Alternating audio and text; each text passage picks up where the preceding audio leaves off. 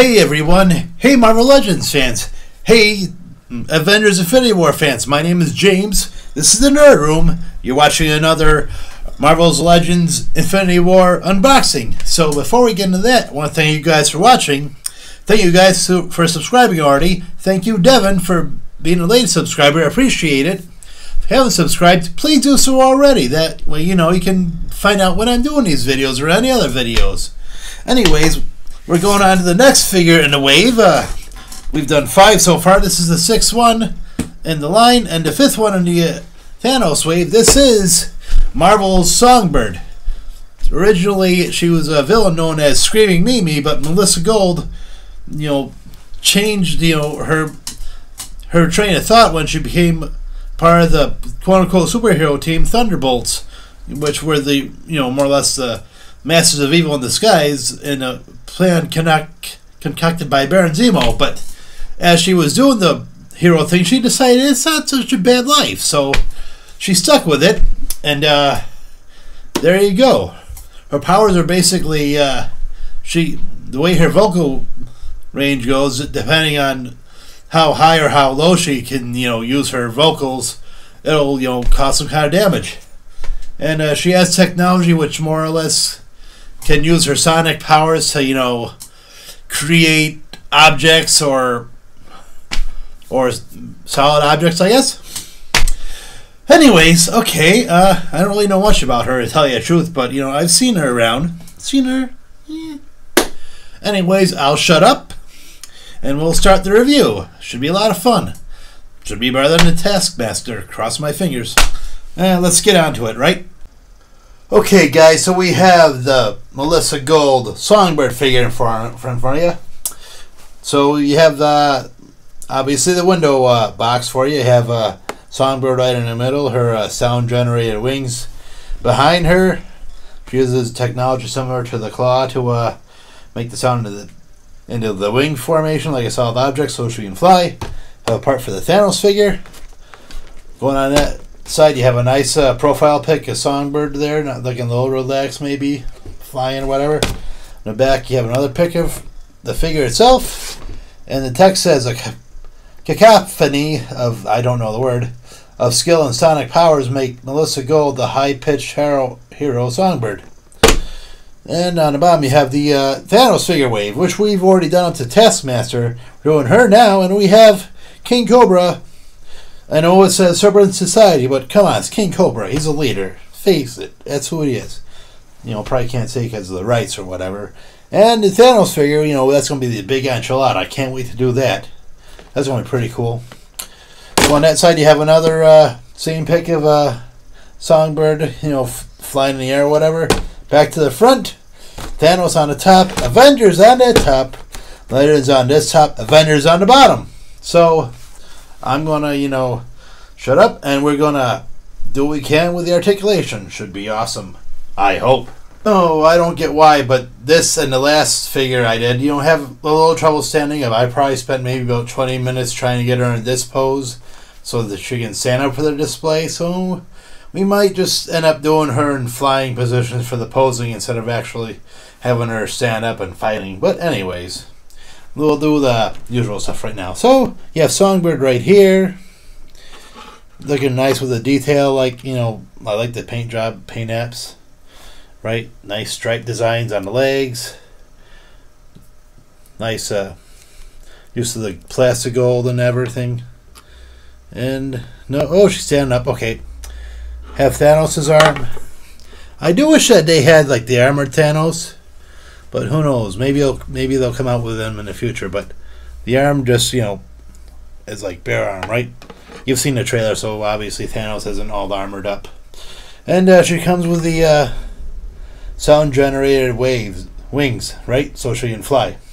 So um, pretty much after we'll we'll after we'll put them the wings on after we do the uh, articulation test, right? Okay, so head goes back not so far because of the hair.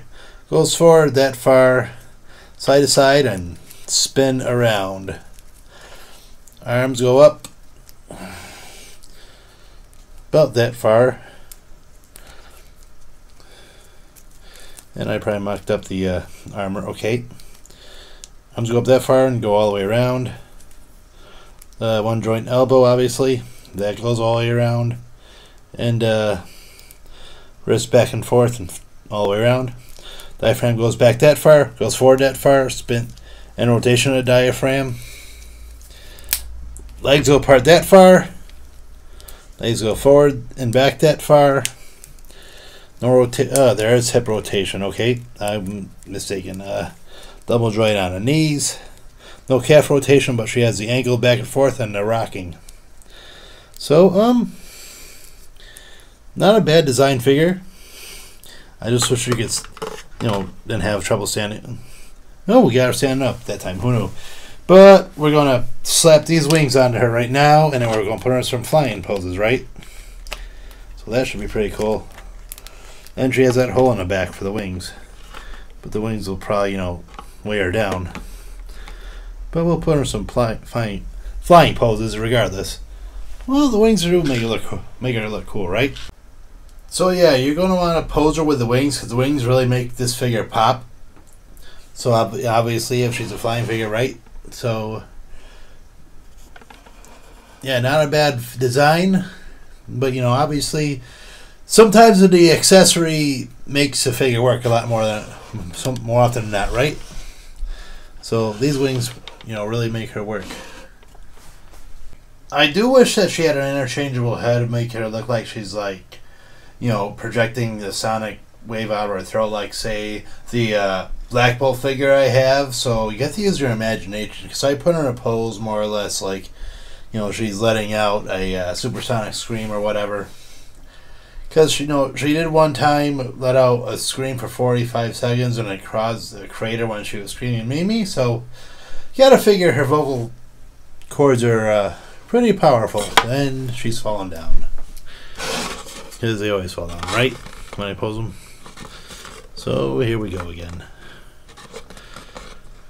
Steady. And it's good. Okay, so once again we're using the NECA display stand. They make her look like she's flying. I wish her head could just go a little bit more back. I know that the wings and the hair get in the way, but you know, just to make it look like she sees where she's going, you know. But, you know, could do a lot worse, right? So it looks pretty cool. Well, the, the, the design, the color design, the uh, whatever makes it stand out, makes it look pretty cool for a display, but I wish you could do a little bit more with it, make it a little bit more extreme, like, you know, the hair and the wings kind of get in the way of making it, you know, the flying really pop, but something like this, you know, I, I have not don't have any complaints over. It looks pretty cool. Looks uh, imposing. Looks uh, spectacular. You know, but I wish we could do just a little bit more, just a little bit. Eh, well, whatever. We'll just put her next to her husband, uh, the Beetle, uh, Abner Jenkins, in, uh, on a display. If you want to find that video, you know, please look on the Marvel Legends playlist. He's there somewhere. So, thank you guys for watching. We're another figure down. We're getting closer to the Thanos. Getting closer to the end of the wave. So I'm really getting excited. Not that I'm not excited already, but you know, it's just going to be a fever pitch of excitement when we get there. So, um, the last figure in the wave before we do the build is the uh, says Serpent Society, but we know is King Cobra, the leader of the Serpent Society. So that should be interesting. I'm just looking at paint alone, but we'll talk about that when we do the figure. So anyways, thank you guys for watching. Please stick around for the rest of the Infinity War Wave figures. Um, if you haven't, please subscribe, and uh, you know you can watch those and some future videos we got coming out. So um, so yeah, thanks a lot. I really appreciate it, and uh, we'll see you next time